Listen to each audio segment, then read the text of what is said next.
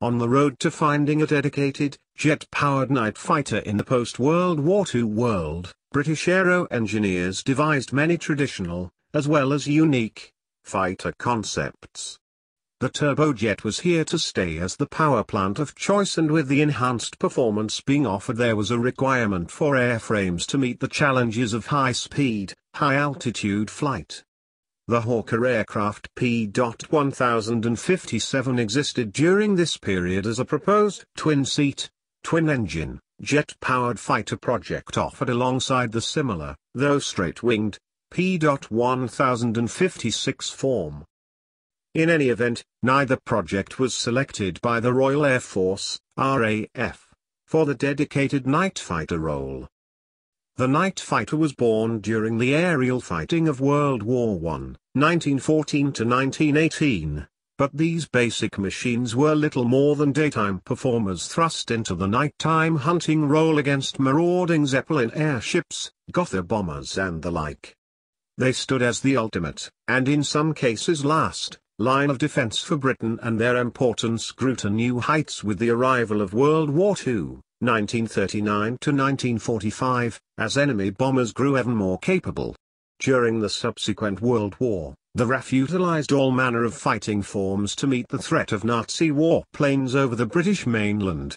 In time, onboard airborne interception, AI, radar had made it possible to intercept enemy warplanes in the dead of night, the British night fighters engaging targets with machine gun and cannon fire. The de Havilland DH.98 Mosquito became the ultimate incarnation of the night fighter in the World War II period for the RAF, this two-crew, twin-engined medium-weight mating the performance of a fighter with the firepower of a light bomber. On the other side of the Atlantic, the Americans developed the first purpose-built night fighter, the Northrop P-61 Black Widow. As the story rolled on, and the war itself drew to a close in 1945, the need remained for a new, all-modern, jet-powered design to overtake the aging prop-driven platforms in the night fighter role. This led to a slew of designs for consideration of which many fell to aviation history as simple footnotes, doomed to the back of a company's filing cabinet. Unfortunately the promising P.1057 became just that while the similar P.1056 proposal seemed to follow the design lines established by the classic Gloster Meteorjet-powered fighter of the late World War II period, with its straight-lined wings and underslung turbojet nacelles. The P.1057 went a completely different route with swept-back wing main planes and integrated engine housings. An elegant shape was chosen for the fuselage in which the short nose cone could house the AI radar unit and the two-seat cockpit aft. The tail would be capped by a traditional single-finned unit with low-mounting horizontal planes. The engines would straddle the fuselage proper and their housings would be well contoured to the general shape of the fuselage and wing, blended. Aspiration was to happen through semicircular openings, intakes, located at either side of the cockpit walls with aspiration of each unit through individual circular ports along the aft sides of the fuselage, well head of the tail unit. The wing main planes were emerged from the sides of the wing root engine areas and be mid-mounted. Sweep back was apparent at both the leading and trailing edges with the latter being given the usual moving control surfaces. For ground running, a short-legged tricycle arrangement was to be featured that was fully retractable. By any measure, the P.1057 was essentially a swept-winged form of the P.1056, albeit more advanced in this way. As drawn up, the P.1057 was to have a running length of 53.4 feet and an overall wingspan of 48 feet, the aircraft being longer than wider and its center of gravity, COG, being concentrated well ahead of midships.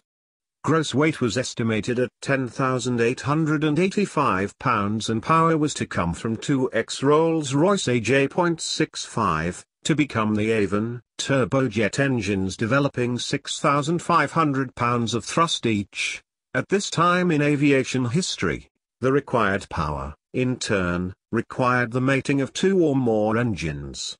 proposed maximum speed became 720 miles per hour with a rate of climb reaching 10,000 feet per minute. The aircraft would be able to reach altitudes of at least 45,000 feet requiring a pressurized cockpit and ejection seats for crew survival.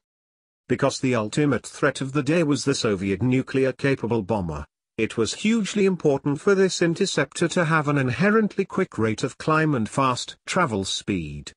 From there, the aircraft would rely on its sheer power, competence of the two crew members, and the radar fit to locate and engage the threat.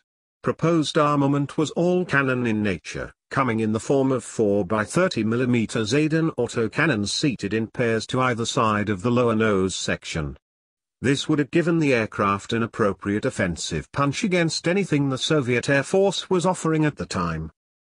At any event, both the P.1056 and P.1057 night fighter projects appear to have been abandoned in short order, conceived of in 1947 and given up as soon as May to June of that year. This was a fate that befell many a British aviation project in the post-World War II world, such was the environment created by changing requirements, advancing technologies, and reduced defense spending.